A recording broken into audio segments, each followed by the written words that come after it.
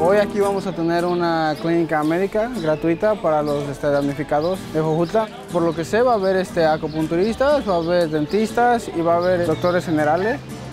Aunque no hayamos dormido mucho, pero aquí estamos.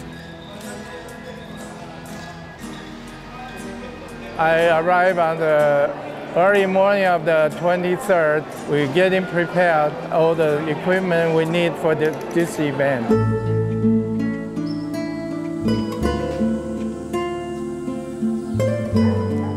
Estamos aquí en lo que le llamamos la Alameda de Jojutla. Fue ocupada como un albergue durante más de cuatro meses por gente que perdió absolutamente todo. Se ha convertido en un semillero de lucha personal y hasta emocional para poder salir adelante de esta situación. Mi esposa me dijo que eh, iban a venir unos doctores y ya quise venir, me duelen las rodillas.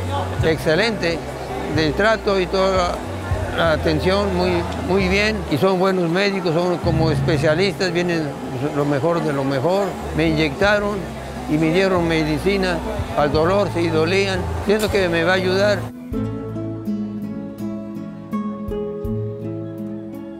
Sentí un piquetito muy leve, no me duele tanto, ya este, las agujas me las quitaron, no me di ni cuenta, ya no, este, ya no siento tanto dolor.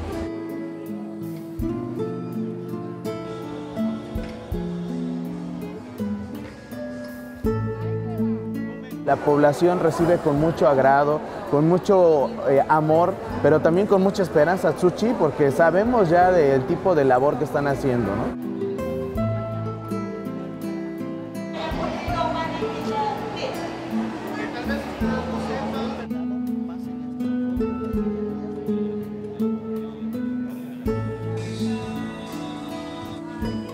Yo ya no me querían aguantar las rodillas, ya no, ya no podía caminar bien y me inyectaron, me inyectaron en el hombro derecho.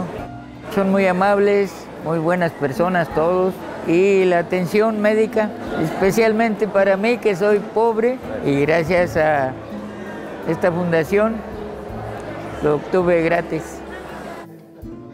Si nosotros no estamos bien, no vamos a poder ayudar a nuestra familia, no vamos a poder ayudar a nuestra ciudad en un proceso de reconstrucción que es muy, muy necesario para cada uno de nosotros. Por eso este tipo de jornadas son importantes.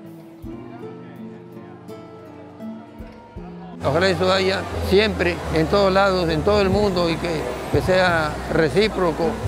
Yo tengo fe de que voy a poder caminar bien con las con las inyecciones que me pusieron porque ya siento efecto de ellas. Nos dan este vida, con, la, con, con, todo. Me atendieron muy bien, estoy muy contenta, agradecida con ustedes porque les han permitido venir a este, a este pueblo a darnos su ayuda y su enseñanza, lo que ustedes aprendieron pues y nos los están dando. Gracias. Muchísimas gracias, muy amables.